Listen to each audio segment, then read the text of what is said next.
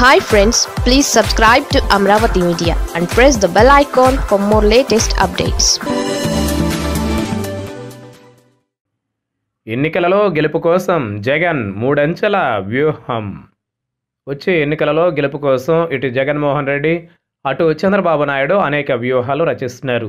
జననాడిని తెలుసుకోవడం కోసం ఇద్దరు కూడా ఎప్పటికప్పుడు సర్వేలు చేయించుకుంటున్నారు. ఇందుకోసం ప్రత్యేకంగా ఇద్దరు వ్యూహకర్తలను నియమించుకున్నారు. పార్టీ నేతల ద్వారా కూడా సర్వేలు చేయించుకుంటున్నారు.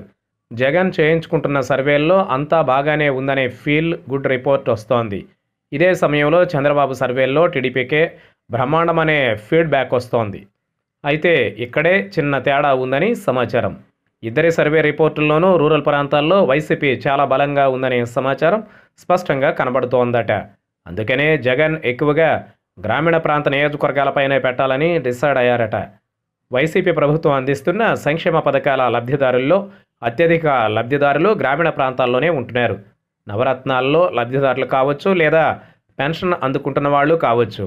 కృతగా జగనన్న కాలనీల్లో లబ్ధిదారులు కూడా తోడవచ్చు ఇలా ఏ విధంగా చూసినా గ్రామీణ ప్రాంతాల్లో జనాలే ఎక్కువగా ఉన్నట్లు సర్వేలో తేలిందట. అందుకనే జగన్ అంటే ఎక్కువగా గ్రామీణ ప్రాంతాల్లోనే బాగా సానుకూలంగా ఉన్నారు.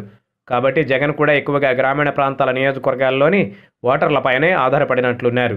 నూట డెబ్బై ఐదు నియోజకవర్గాలలో దాదాపు నూట పది నియోజకవర్గాలు గ్రామీణ ప్రాంతంలో ఉన్నాయి. పూర్తి అర్బన్ నియోజకవర్గాల సంఖ్య సుమారు నలభై ఉన్నాయట.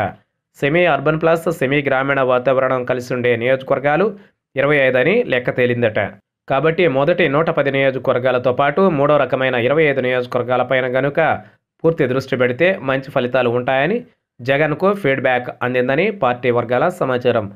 మధ్యలోని నలభై నియోజకవర్గాలు ఎక్కువగా జిల్లాల కేంద్రాలతో పాటు విశాఖపట్నం విజయవాడ నగరాల్లోని నియోజకవర్గాల పరిధిలో ఉన్నాయి. కాబట్టి జగన్ మూడంచెల వ్యూహంతో వెళ్ళబోతున్నట్లు స్పష్టంగా అర్థమవుతోంది. మరి ఫలితాలు ఎలాగుంటాయో చూడాలి.